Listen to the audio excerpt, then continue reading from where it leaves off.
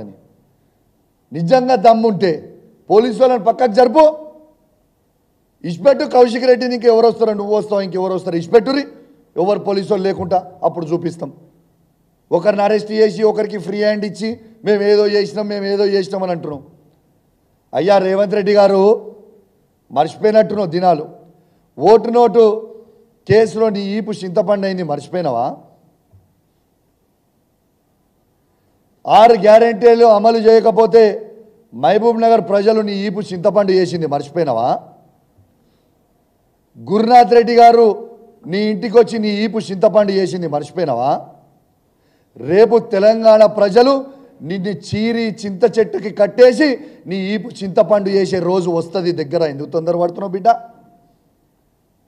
ఖచ్చితంగా అవుతాయి ఖచ్చితంగా అవుతుంది నువ్వు ఎన్ని చేసినా ఎంత భయపట్టించినా నువ్వు ఏమి చేసినా నేను మాత్రం ఇంకేం చేస్తావు ఎక్కువ ఎక్కువ హత్య చేయించని ప్రయత్నం చేసినావు. ఇంకా నేను హత్య చేయిస్తావు కావచ్చు. Yes I'm ready to die for people of Telangana బరాబర్ ఉన్నా నువ్వు చంపితే చావడానికి నేను రెడీగా ఉన్నా. కానీ నీతో నీ ఎట్టు పరిస్థితుల కాంప్రమైజ్ అయ్యేదే ఉండదు. ఖచ్చితంగా నువ్వు ఏవైతే నీ హామీలు ఇచ్చినో ఆరు గ్యారెంటీలు ఇస్తామని ఆ ఆరు గ్యారెంటీలు ప్రజలకు ఇచ్చే వరకు నీ గుండెల్లో నిద్రపోతాడు కౌశిక్ రెడ్డి బిడ్డ. గుర్తుపెట్టుకో అని చెప్పి చెప్తా ఉన్నాను రేవంత్ రెడ్డికి. నేను ఆల్రెడీ చెప్పిన నీ స్థాయి కేసీఆర్ గారి స్థాయి కాదు కేటీఆర్ గారి స్థాయి కాదు హరీష్ రావు గారి స్థాయి కాదు. ఆఖరికి నా స్థాయికి దిగిపోయినావు అని చెప్పిన.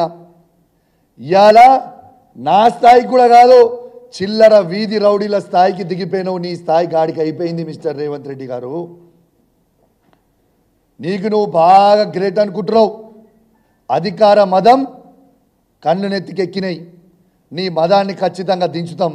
ఏం ఫికర్ చేయకు బిడ్డ. దించిన రోజు నీకు ఉంటుందిరా స్వామి రంగా. ఆ రోజు ఉంటే తీసి పెడతాం అని అనుకోకు నేను ఉట్టిగా.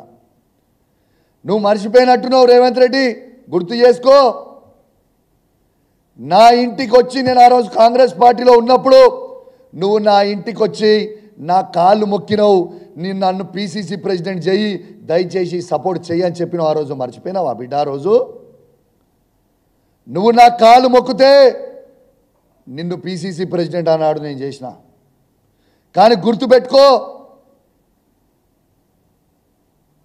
ఏ విధంగా నేను ఆ రోజు పీసీసీ ప్రెసిడెంట్గా చేసినో ఇవాళ కేసీఆర్ నాయకత్వంలో మళ్ళా నిన్ను సీఎం పదవి దించే వరకు నిద్రపోకుండా పనిచేస్తా బిడ్డ జాగ్రత్త చూసుకో అని చెప్పి సందర్భంగా నేను హెచ్చరిస్తా ఉన్నాను. ఇవాళ తెలంగాణ ఇంద్రమ్మ ఇండ్లలో చంద్రన్న చెట్లు నాడుతున్నావు తెలంగాణ ప్రజలు నీ ఈపు చింతపండు చేసే రోజు దగ్గరగా ఉంది బిడ్డ నువ్వు వెయిట్ అండ్ వాచ్ అని చెప్పి చెప్తా ఉన్నాను. నీ నోటికి వచ్చినట్టు మాట్లాడుతున్నావు. నీ అయ్యా జాగిరాబాయ్ తెలంగాణ. నువ్వు భయపట్టిస్తే భయపడికి ఈడే మన చేతు భయపడితే భయపడికి ఉన్నా అనుకుంటున్నావు ఏంది? భయపడే ప్రసక్తే లేదు గుర్తుపెట్టుకో. నీకు ఇంకోటి కూడా చెప్తున్నా. చాలామందితోని ఆయన చిల్లర గుండాగాలతోని నాకు ఫోన్ చేపిస్తా ఉన్నాడు. నిన్ను ఖచ్చితంగా హత్య చేస్తాం. నిన్ను చేసి తీర్తాం. అని ఫోన్ కాళ్ళు నాకు ఎవ్రీ డే వస్తూ ఉన్నాయి. నేను అడిషనల్ ఇంటెలిజెన్స్ శివధర్ రెడ్డి గారికి నేను ఆల్రెడీ పంపించిన ఫోన్ నంబర్లతో సహా. నేను ఈ వేదిక ద్వారా మొత్తం చెప్తున్నా. యావత్ తెలంగాణ ప్రజలందరూ కూడా చెప్తున్నా. మీకోసం నేను చావడానికైనా సిద్ధంగా ఉన్నా. కానీ ఏనాడైనా నన్ను హత్య జరిగితే ఖచ్చితంగా దీనికి రేవంత్ రెడ్డి గారే బాధ్యత అని చెప్పి సందర్భంగా తెలియజేస్తూ ఉన్నాను.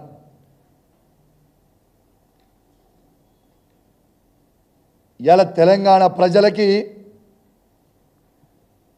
రక్షణ కల్పించాల్సిన ముఖ్యమంత్రి హోమ్ మినిస్టర్ గారు తనే కాబట్టి అసలు ఏం చేస్తున్నారు? అసలు ప్రజలు నవ్వుకుంటున్నారు నువ్వు చేసే మాటలు. ప్రజలు నిన్ను చూసి నవ్వుకుంటున్నారు? తెలంగాణ ప్రజలు ఏమనుకుంటున్నారు అనేది ఆలోచన చేసుకో. ఇవాళ వాళ్ళ పీసీసీ ప్రెసిడెంట్ అయిన మహేష్ గౌడ్ గారు మా కాంగ్రెస్ పార్టీకి సంబంధం లేదంటాడు శ్రీధర్ బాబు గారు బీఆర్ఎస్ పార్టీ ఎమ్మెల్యేలు కొట్లాడుకుంటున్నారు అంటాడు. రేవంత్ రెడ్డి గారు కూడా మేము చేసినాం అంటాడు. మరి ఎవరు చేసిరు మీరు ఎన్ని చెప్పినా ఈ తెలంగాణ రాష్ట్రంలో పది నియోజకవర్గాలలో బై ఎలక్షన్లు రాక తప్పవు. మేము ఆ పది నియోజకవర్గాలల్లో మళ్ళా బీఆర్ఎస్ పార్టీ జెండాలు ఎగిరేక తప్పదని చెప్పి ఈ సందర్భంగా తెలియజేస్తా ఉన్నాను. ఖచ్చితంగా బై ఎలక్షన్లు వస్తాయి. ఖచ్చితంగా కేసీఆర్ నాయకత్వంలో గట్టిగా పనిచేసి బీఆర్ఎస్ పార్టీ జెండాలు ఎగరేస్తాం. రెండోది నువ్వు గీ మాటలు చెప్పుకుంటూ గీ భయపెట్టించదలుచుకుంటే నీకు నా సంగతి బాగా తెలుసు రేవంత్. గుర్తుపెట్టుకో. ఏదో ఓ రోజు ఖచ్చితంగా బాధపడతావు. కౌశిక్ రెడ్డి జోలికి ఎందుకు పోయినా? నా జోలికి వచ్చినోడు ఎవ్వరు కూడా కథం పట్టించిన తప్పితే నా జీవితంలో నేను ఏదైనా అడిగేసిందంటే నా జీవితంలో విజయమే చూసిన నాతో పెట్టుకున్నోడు మళ్ళీ తిరిగి వెనుకకి పోలేదు. ఖచ్చితంగా నీకు కూడా అదే అవుతుంది. రాసి పెట్టుకో రేవంత్ అని చెప్పి సందర్భంగా తెలియజేస్తూ ఇలా నువ్వు మాట్లాడిన మాటలు మరొక్కసారి తెలంగాణ ప్రజలందరినీ కూడా ఏ విధంగా ఈ తెలంగాణని శాంతి భద్రతలని నాశనం చేస్తుండో రేవంత్ రెడ్డి అనేది యావత్ తెలంగాణ ప్రజలందరూ కూడా గమనించాలని కోరుకుంటూ సెలవు తీసుకుంటా ఉన్నాను. జై తెలంగాణ జై కేసీఆర్. Thank you